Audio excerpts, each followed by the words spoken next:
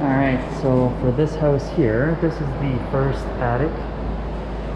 So if you take a look, I want to show you guys why it's important to know the layout of your house. So this is a pretty big one, and you see right here is a big cathedral that is blocking me from getting to the other side, and so there needs to be an other attic hatch.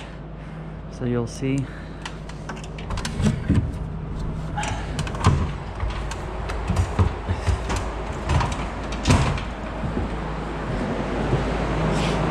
This is your big cathedral right here. And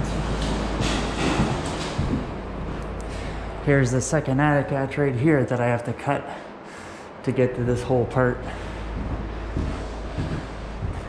Right here. So we've got our first attic here all complete. And now moving on to the second one on the other side of that cathedral. So this is the other side here of the cathedral. All right, so it's a smaller area, but we also have to cover the uh, garage, which is on the other side here. Gotta go through this little cavity. Ah. And so the garage, I would assume, is roughly, oh, it's close to a thousand square feet.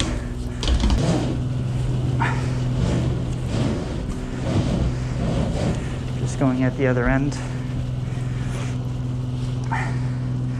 So there's um, one thing that I wanted to cover actually is I got a question from one of my subscribers, or I would hope he's a subscriber, but he asked is the fact that I have a shallow attic uh, mean that I need less insulation?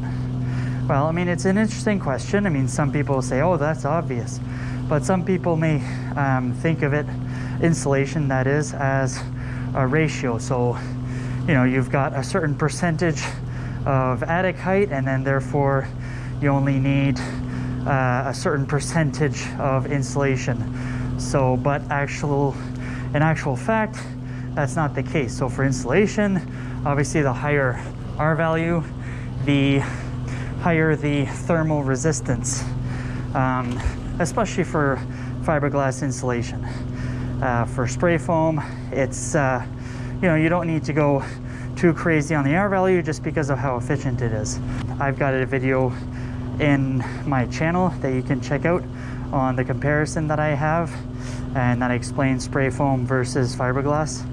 Uh, and so anyway, for any new home in Canada, we spray at or we install blown insulation at an R60. So that's the current code, and that's uh, roughly 22 and a quarter inches of insulation of fiberglass. Cellulose, you don't need as much.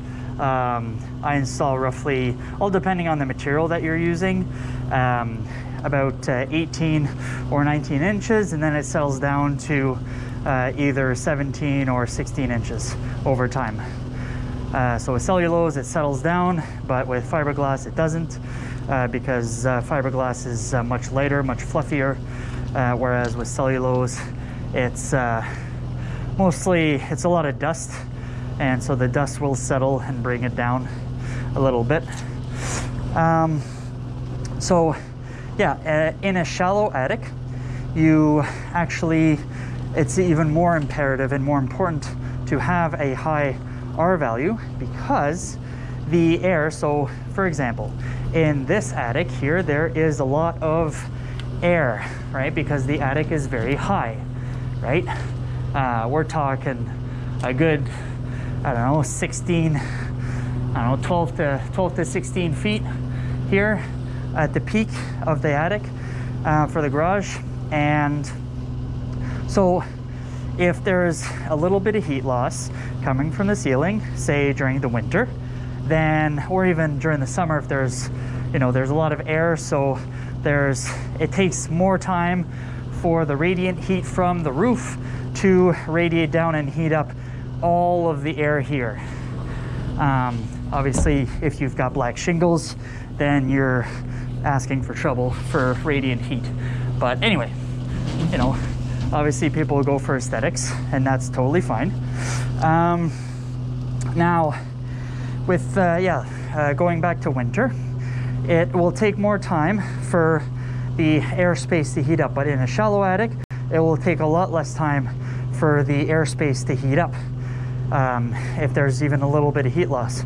So you need a combination of those roof vents that are at the very top here, right? You see the uh, black uh, holes there.